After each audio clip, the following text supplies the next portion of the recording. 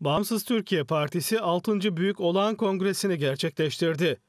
Ankara Büyük Anadolu Oteli'nde gerçekleştirilen kongrede 1252 delegenin tamamının oyunu alan Profesör Doktor Haydarbaş yeniden genel başkan seçildi.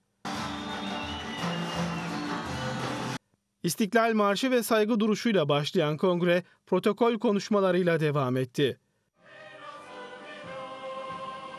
Yoğun katılımın olduğu kongreye Genel Başkan Profesör Doktor Haydarbaş'ın gelişiyle salondaki coşku tavan yaptı.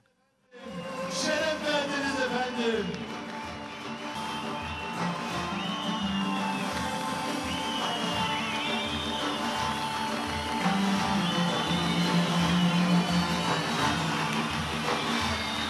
Konuşmaların ardından sahneye Grup Nefes çıktı. Grup Nefes'in seslendirdiği eserlere BTP lideri Haydarbaş da eşlik etti.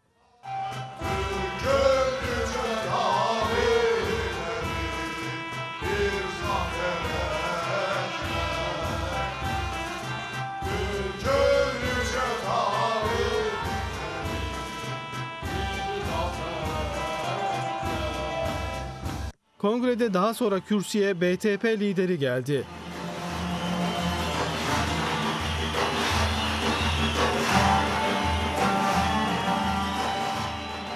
BTP lideri Profesör Doktor Haydarbaş yaklaşık bir buçuk saat süren konuşmasında Türkiye'nin sıcak gündemini ve kronik sorunlarını değerlendirdi, milli ekonomi modeliyle getirdikleri çözümleri anlattı.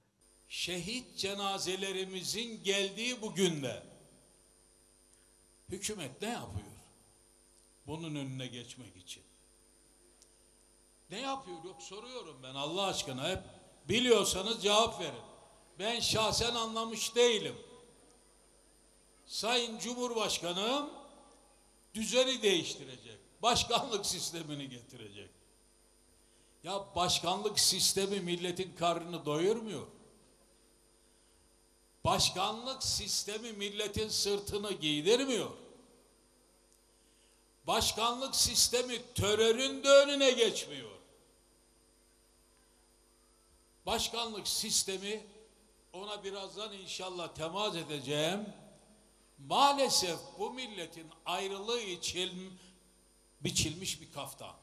Başkanlık sistemi ve yeni anayasa için bunları söyleyen Haydarbaş, terör üzerine de dikkat çekici açıklamalar yaptı. Terör çözüm bekliyor.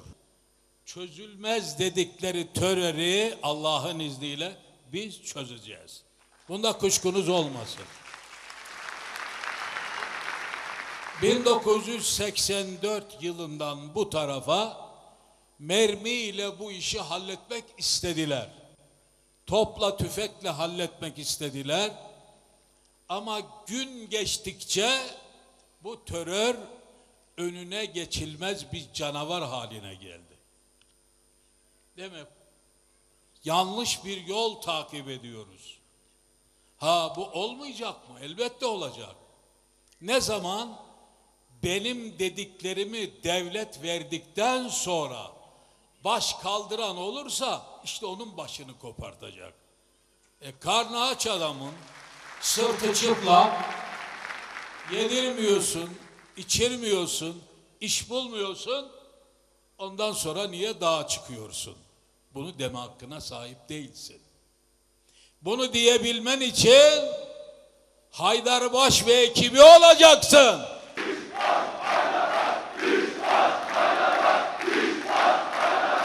Güneydoğu'da yaşanan kaosun temelinde İsrail'in arz-ı mevut planı olduğunu ifade eden Haydarbaş, şu dikkat çekici ifadeleri kullandı. Geçenlerde kilise bomba düştü. Ben bir konuşma yaptım. Konuşmamda dedim ki kilisten bir yol arıyorlar. Antep'ten geçecek. İnşallah Antep'in içine girmezler. Oradan da Hatay'a, Hatay'dan da Akdeniz'e inecekler. Bu yol büyük İsrail yoludur. Hemen bir takım gençler bana cevap vermeye başladı. Ya nereden İsrail'i çıkarttın? Sanki İsrail'in avukatları bunlar. Şimdi gel oğlum beni dinle. Bakın şunu çekin yüce milletime gösterin. Biz delilsiz konuşmayız. Biz işkembeden atmayız. Dediklerimiz kanundur. Ya şimdi Büyük İsrail temellerini attı. Haberiniz var mı? Konuşuyorlar. Anayasa değişecekmiş. Bilmem dokunulmazlık kalkacakmış. Niçin kalkacak dokunulmazlık? Federatif yapıyı kuramadılar. Federasyonu ilan edemediler. Dokunulmazlığa dokundular. Şimdi kafalarına göre kavgayı başlatacaklar.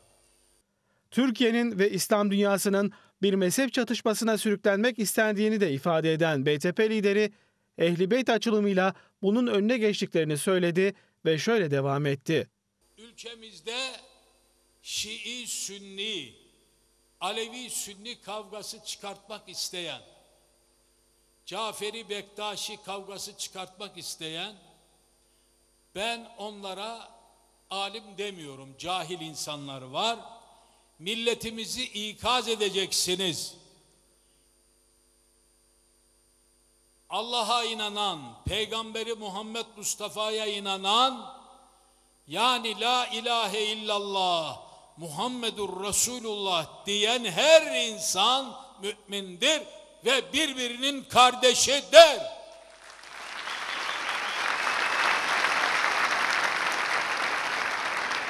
Kardeşin kardeşi katletmesi haramdır. Affı asla mümkün değildir. BTP lideri konuşmasında dikkat çekici bir laiklik analizi de yaptı.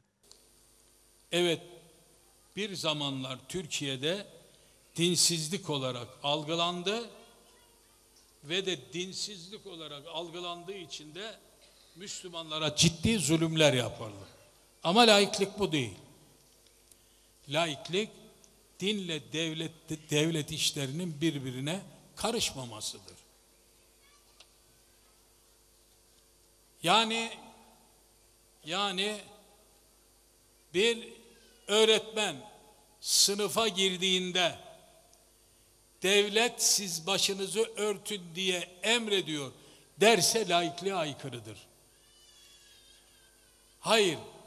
Allah Kur'an'ında başınızı örtünüz diye söylerse laikliğe aykırı değildir. Bu kadar basit. Şimdi bir adam hakim, savcı, avukatla namazımı terk edecek. Çekilir odasının bir tarafına Allahu Ekber der namazını kılar. Hakim laiklik ihlal edildi mi? Edildi mi?